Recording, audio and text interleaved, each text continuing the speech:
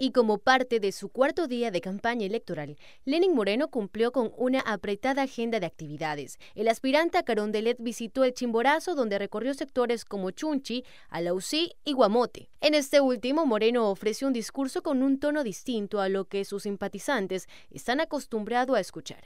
Por eso, por eso, sepan ustedes, guamoteños, que si es que triunfa, que no lo va a hacer, el candidato banquero ya tiene ofrecido. Revisen ustedes el programa de él. Educación pagada, salud pagada, entregada a las empresas privadas. No, no y no. Nosotros vamos a tener un gobierno en el cual la educación y la salud van a ser, van a ser gratuitas para todos los ecuatorianos.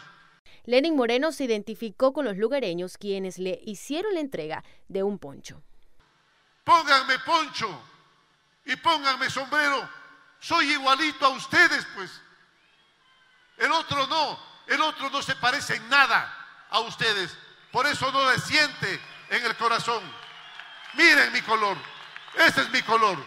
Color moreno, tostado por el sol. Este es mi color. Mientras que en Guayaquil, en la central de Alianza País, el Comité del Frente Unido ofreció una rueda de prensa para ratificar su apoyo a la candidatura Moreno Glass y para convocar a debate. En estos días eh, y en días anteriores hemos tenido varios eh, líderes de movimientos que hoy mismo se suman a el binomio del pueblo, a Lenin Moreno, Jorge Glass, justamente en vísperas de la próxima contienda electoral este 2 de abril. Dos, convoca un profundo debate sobre las tesis y modelos de país que están en disputa en esta segunda vuelta, bajo la consigna de derrotar este 2 de abril a la oligarquía y al imperio y continuar profundizando en paz y en democracia las transformaciones que el pueblo y la patria nos demandan con Lenin y Jorge a la cabeza. De esta manera se mueven las piezas del oficialismo dentro de la campaña electoral, a menos de un mes de las próximas elecciones en Ecuador.